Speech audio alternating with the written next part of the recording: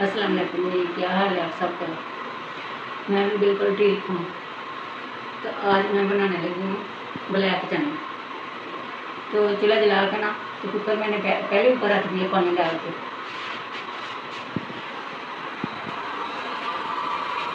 पानी मैंने इसलिए गर्म करके डालने लगी हूँ तो मेरी ना तबीयत रात को ख़राब थी। तो मैंने लेट इसको भिगोए हैं। चने लेट भिगोए हैं। ये चने जो छोटे छोटे होते हैं ना बरीक देसी वाले, वो चने थे। तो मैंने ऐसे किया है कि इसको पानी गर्म करके फिर चने भिगोए हैं। थोड़ा सा ना एक चुटकी मीठा सोडा डाला था। कि इसलिए कि बारह बजे मैंने भिगोए हैं तो गले ना। ये एक छोटा सा प्याज है और एक लहसुन की गड्डी तीन चार कलमे लहसुन।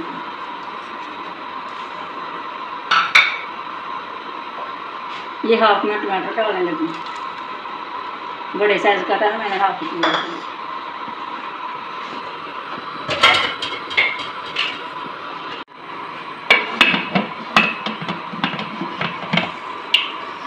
अगर ठंडे पानी में मैं डालती ना तो फिर सहत हो जाने थे।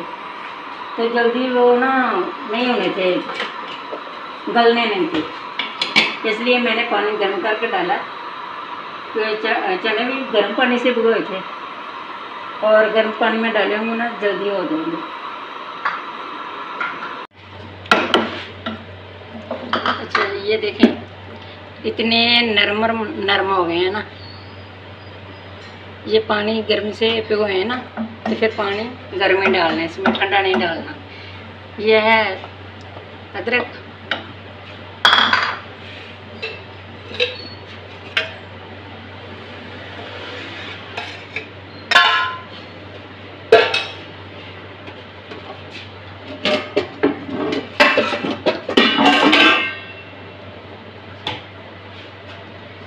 मैंने डाला।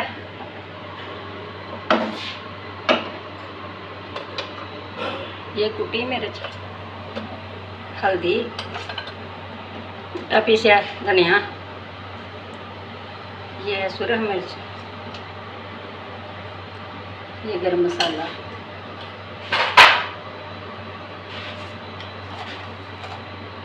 ये है नमक। नमक अपने टेस्ट के साथ में।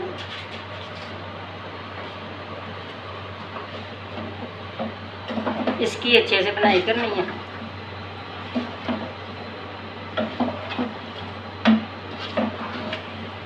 मैं ना, मैंने इसके साथ ना चनिया के साथ चावल बनाना, बनाए हैं।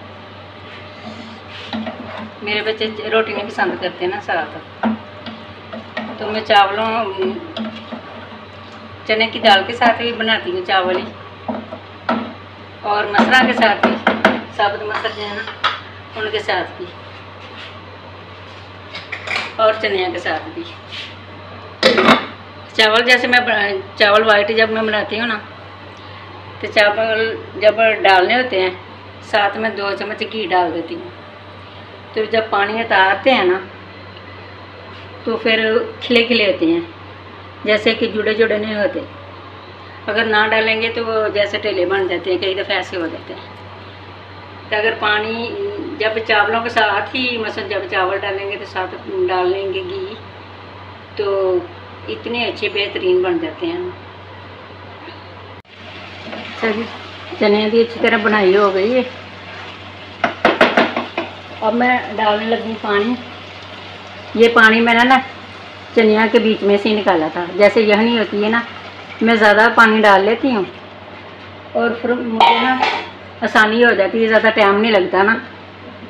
तो वो ही पानी में डाल लेती हूँ और उसी से ज़्यादा पकाना नहीं पड़ता।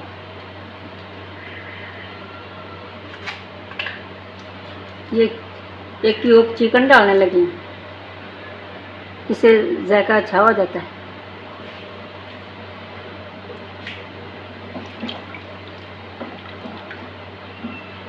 ये सब्ज धनिया।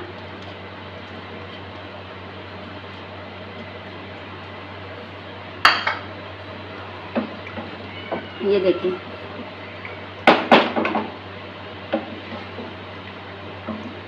ये कम टाइम लगता है, कम टाइम में ना जल्दी बन जाती है। अगर पानी पानी आप ज़्यादा डाल लेंगे, वही पानी निकाल के भून के जिसमें डालेंगे दोबारा, पकाना भी नहीं पड़ेगा।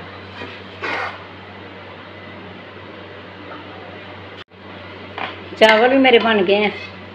कैसे एक एक दाना? है आप मेरे तरीके से चावल बनाएँगे ना तो कभी आपके चावल टूटेंगे भी नहीं और जुड़ेंगे भी नहीं। अच्छा ये है मकई और ये पापड़। बच्चे कह रहे थे कि पॉपकॉर्न भी बना के देने नहीं और पापड़ भी।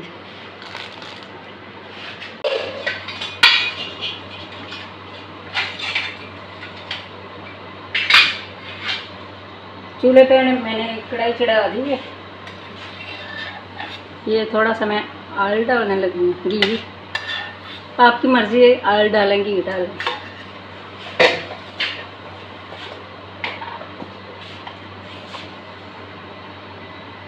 और साथ में ना आधा चम्मच नमक डालने लगी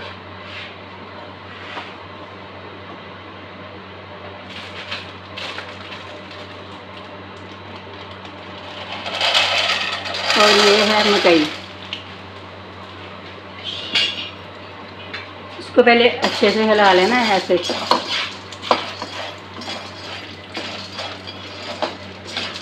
इसलिए कि इसको ना नमक और घी लग जाए मिक्स हो जाए। फिर इसके बाद में ढक्कन लगा देना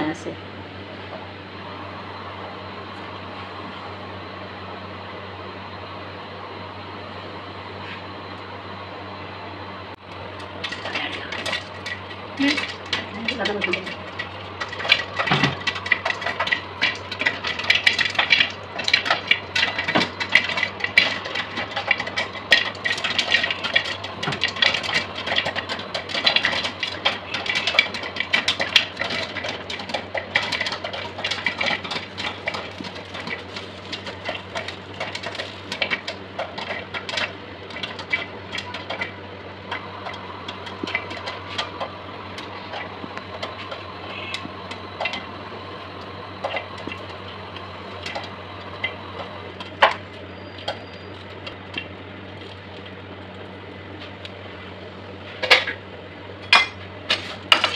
ये देखें जी हमारी पोपड़ी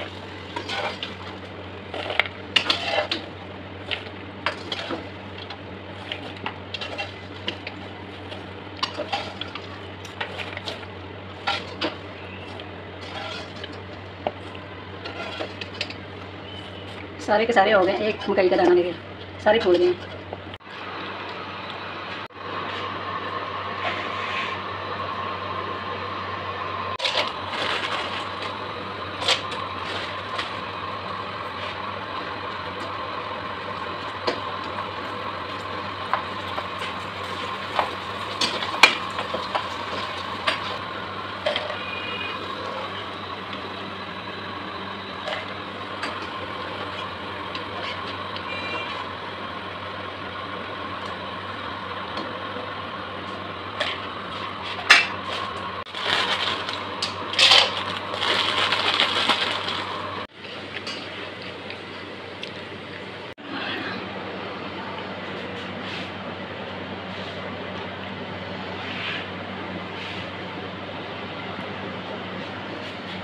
है जी फाइनल लुक मेरी वीडियो की।